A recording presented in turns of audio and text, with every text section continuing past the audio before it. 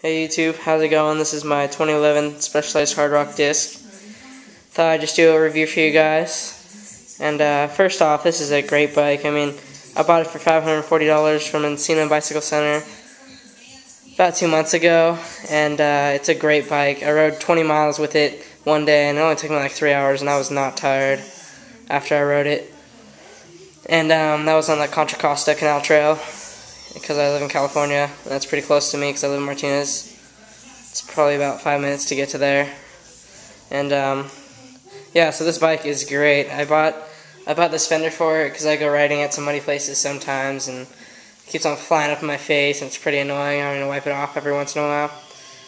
But um, yeah, everything's pretty good on this bike. I'm probably gonna buy some different forks for it because these don't have lockouts, so when you're riding on the street, it's kind of bumpy, but yeah, and they have a rebound adjuster right here. So that way you can set it to um, if you want a quick rebound or if you want it to be a slow rebound.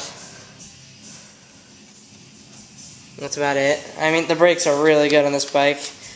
I uh, I this I got free tune tune ups as long as I have the bike, so I just take it in there whenever the brakes start to get a little uh,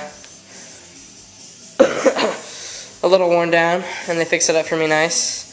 I uh, the pedals that come with it are plastic, so I just I uh, bought these off my friend. He bought them brand new from uh, Dan's Comp for his BMX bike, but I was like, I'll just take them off your hands for 25 bucks, and they're, they're the Shadow Conspiracy pedals. They're pretty nice. They don't they don't spin a lot, so even if your foot slips off, you're not gonna like put your foot on the side of it or wherever on the top of it. And yeah, the seat's really nice on this bike. It, it gets kind of uncomfortable after a while, but you don't really notice it unless you've been riding on it for like about, about half an hour or an hour. And uh, the shifting on this bike is great. I mean, it's. I know you're not supposed to shift it when you're not pedaling, but just want to show you. It's really nice and it shifts fluently. There's no there's no skipping at all or anything. I mean, it's definitely definitely a high high grade bike, and I mean, if you have more money, I would go with um, the Specialized.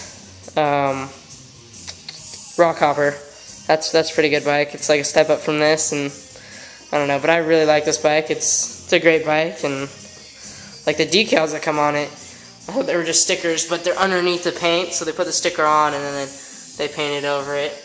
It comes up right here, but this one right here on the fork comes off. It's just a sticker. It's supposed to look like a chain, I guess, or chain link fence, you know, something like that. But um, yeah. So, anyways, it's a great bike, and I'll uh get back to you guys with a couple more videos. I'm going hunting this weekend on Sunday, so uh, hopefully I'm going to try to get some videos of uh, me getting a couple squirrels out there, see what I can get. Um, I'll try to videotape me actually shooting them, but it's going to be kind of hard because um, I'm probably going to be the only one there. But um, yeah, I'll, I'll, see if I can get some videos of that. So uh, until next time.